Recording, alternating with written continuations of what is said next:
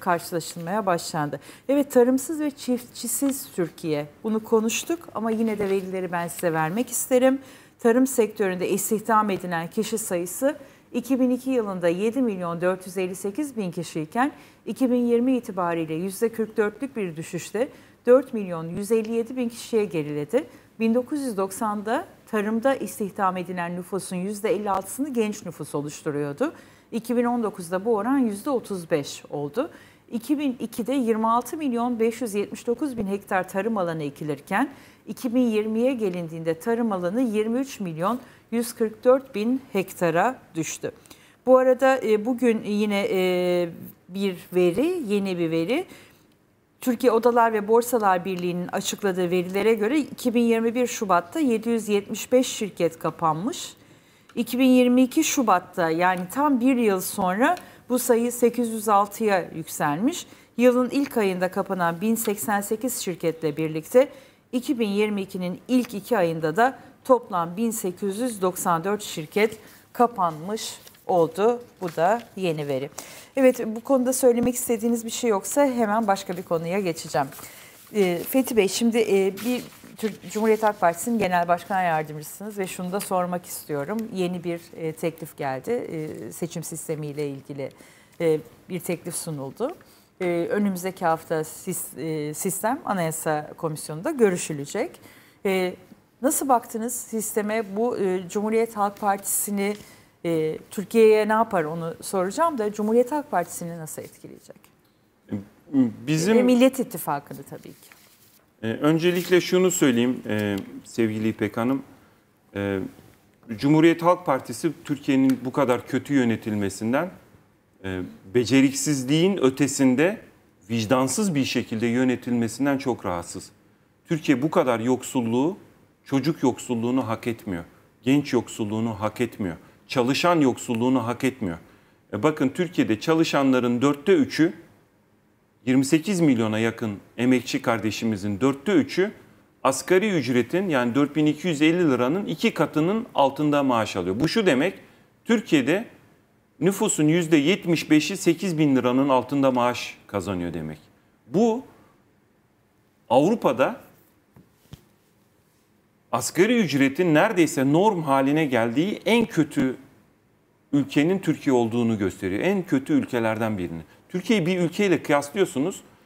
Ya Dağlık Karabağ çıkıyor ya başka küçük bir Balkan ülkesi çıkıyor. Ama Türkiye'nin nüfusu 84 milyon. Yani sıralamayla açıklanabilecek bir şey değil.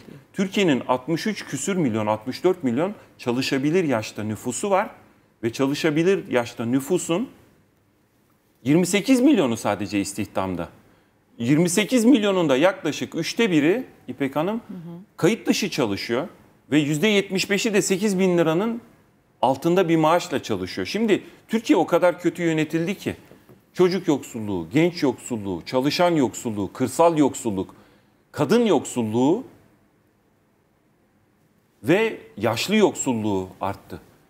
Kırla kent arasındaki farklılık, eşitsizlik arttı. Bölgeler arası eşitsizlik arttı. Daha kötüsü kuşaklar arası eşitsizlik tersine döndü. Hı hı. Ne demek istiyoruz biz? Eskiden kuşaklar arası eşitsizlik doğaldı. Neden? Çünkü herkes annesinden babasından daha iyi bir kariyer, daha iyi bir gelir sahibi olurdu. Annesi çiftçidir, e, küçük zanaat sahibidir, çocuğunu okutur, meslek sahibi yapar, teknisyen olur, hemşire olur, tekniker olur, daha yüksek gelir kazanır ve e, annesinden daha, babasından daha iyi bir mesleğe sahip olur. Kuşaklar arası eşitsizlik olur. Ama bu pozitif eşitsizliktir hı hı. çünkü ilerleme vardır. Şimdi tersi oluyor okumuş, yazmış, iyi maaş kazanan, emekli ikramiyesiyle ev alan anne babanın çocuğu işsiz, güçsüz 30-35 yaşına kadar ev kızı, ev oğlu olarak kalıyor. Kredi Yurtlar Kurumu borcuyla boğuşuyor. Kuşaklar arası eşitsizlik bile tersine döndü. Üstüne üstlük bir de mülteci ve yurttaş eşitsizliği var. Türkiye'de büyük bir gettolaşma e, eşitsizliği var. Şimdi böyle bir vicdansız, beceriksiz ve basiretsiz yönetimde ülke tarihinde gördüğü en büyük e, krizlerle, eşitsizliklerle iç içeyken Adalet ve Kalkınma Partisi iktidarı kaybedeceğini anladı ve seçim yasasıyla oynuyor. Şimdi Cumhuriyet Halk Partisi kadrosu olarak neyi hissediyorum? Şunu hissediyorum. Adalet ve Kalkınma Partisi bataklığa düşmüş, kendi çevirdiği bataklığın içine düşmüş, çırpındıkça batan bir parti görünümünde. Cumhur İttifakı da öyle. Bakın kendi elleriyle kazdıkları kuyuya kendileri düştüler. Böyle hani e, define avcıları, hazine avcıları olur ya derin kazarlar.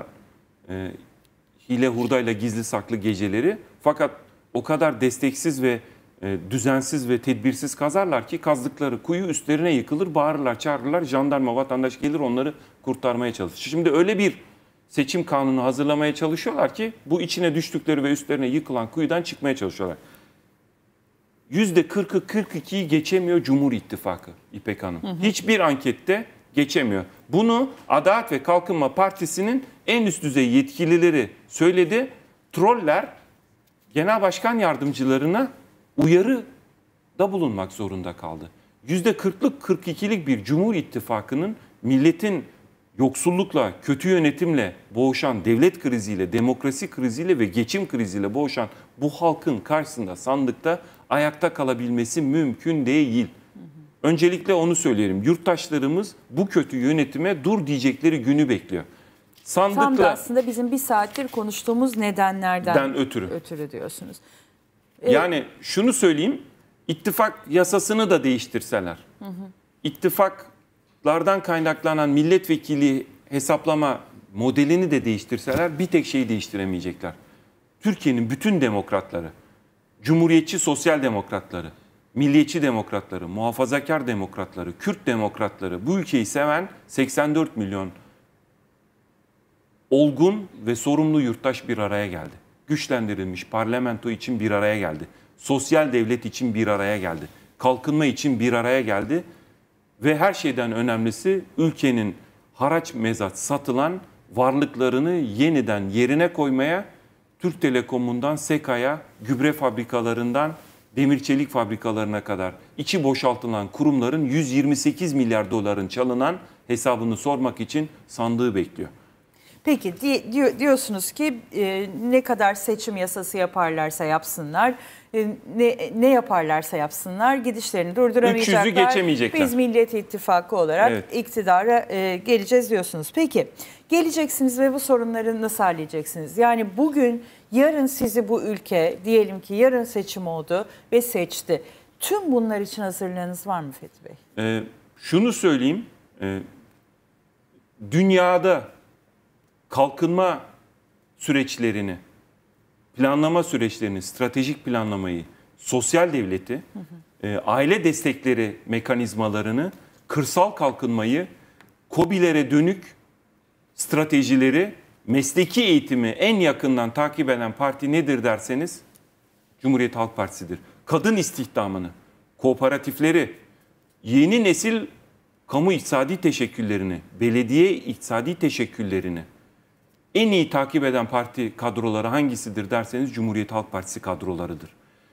Gelir dağılımı adaletsizliğini, her türlü yoksulluğu ve yolsuzluğu önleme konusunda gerekli kurumları inşa edecek parti hangisidir diyecek olursanız e, Cumhuriyet Halk Partisi kadrolarıdır diyeceğim. 1920'lerin 30'ların koşullarında 20. yüzyılın büyük kalkınma hamlesini, stratejik hamlelerini Cumhuriyet Halk Partisi kadroları nasıl yaptıysa bugün de bu kararlılıkla ve sabırla, özenle çalışıyoruz. Fakat burada Cumhuriyet Halk Partisi kadroları e, tek başına çalışmıyor İpek Hanım. Genel Başkanımızın direktifleriyle altılı, yedili, sekizli partileri de içine alacak şekilde Türkiye'nin tüm vatanseverlerini ve demokratlarını bir araya getirecek heyetler çalışıyor. Güçlendirilmiş parlamenter sistem altında yeni bir kalkınma hikayesi, hı hı. yeni bir e, sosyal devlet hikayesi, aile destekleri sigortasının e, merkezine oturduğu yeni bir kırsal kalkınma hikayesi,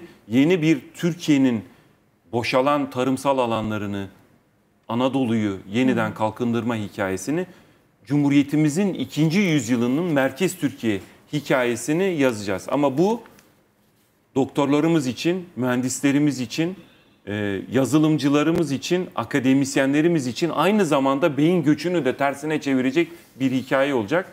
Teknisyenlerimiz, hemşirelerimiz, sağlıkçılarımız, KOBİ'lerde çalışan teknikerlerimiz daha iyi maaş alabilecekleri, kadın istihdamını ve kooperatifleri en üst düzeye çıkaracak kreşlerde çocukların bayılmadan, e, açlık çekmeden okul yemeklerini yiyerek